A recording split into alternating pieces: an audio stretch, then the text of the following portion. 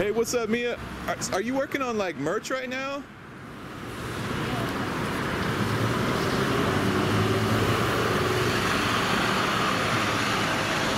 I saw that, that your husband's a chef, or your boyfriend's a chef.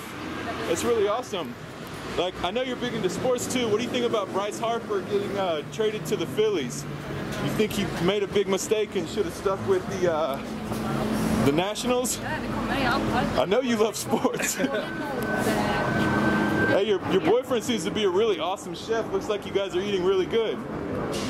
Are you are you dropping your own like website or merch or something like that?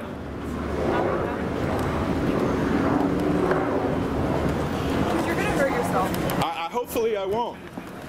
Anything like in particular that you're like asking for for Christmas or looking forward to getting?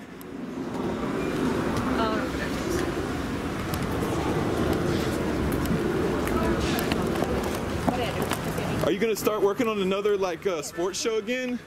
That was really cool. The one that you had uh, before at uh, the complex one.